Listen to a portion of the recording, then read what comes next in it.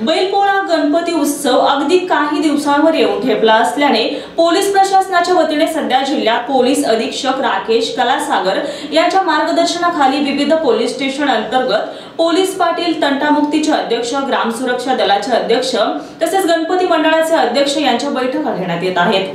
मागील दोन वर्षापासून कोरोना संक्रमण काळ असल्यानं सर्व सण व समारंभावर मर्यादा आल्यानं जिल्ह्यात गणपती उत्सव व पोळा सण साध्या पद्धतीने साजरा करण्याच्या सूचना प्रशासनाने दिल्या आहेत. त्यानिमित्ताने विविध पोलीस स्टेशन अंतर्गत सण समारंभाच्या काळात जिल्ह्यात शांतता व सुव्यवस्था ठेवण्यासंदर्भात हे बैठकीचे आयोजन करण्यात येत आहे.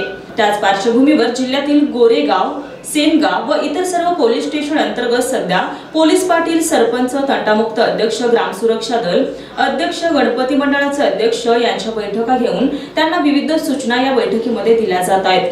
त्यानिमित्ताने आज गोरेगाव पोलीस स्टेशनमध्ये ही बैठक पार पडली आहे. यावेळी पोलीस उपअधीक्षक यतीश देशमुख यांनी उपस्थितांना सूचना व मार्गदर्शन केलंय. Gajanan Pawar star Maharashtra news Hingoli.